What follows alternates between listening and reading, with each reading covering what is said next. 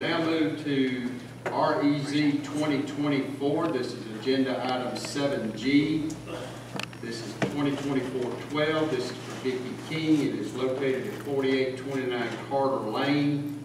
This involves 2.98 acres.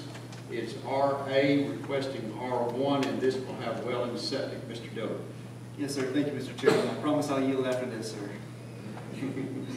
We do have a request by Ms. uh, Ms. King to rezone her property from RA to R1. You'll note the existing R1 pattern there surrounding the property. Um, It is within a rural residential future land use depiction, and which does recommend R1. One thing to note is the groundwater recharge area, which requires lots to be a minimum of 1.25 acres, which the applicant is aware of. This had a preliminary survey done, these lines can be uh, moved to accommodate that additional increase in acreage there. But Overall, staff recommends approval, and the planning commission also recommended approval at their uh, April meeting, 8-0. The applicant is well, hoping to subdivide the property for a single residential uh, unit in the back. Any questions for Mr. Dillon?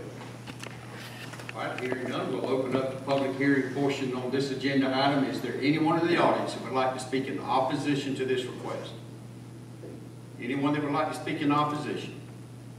Hearing none, is there anyone that would like to speak in favor of this request?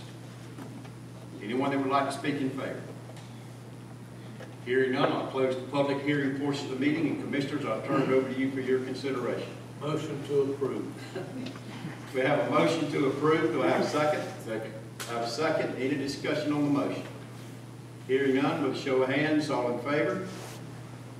Unanimous. Thank you.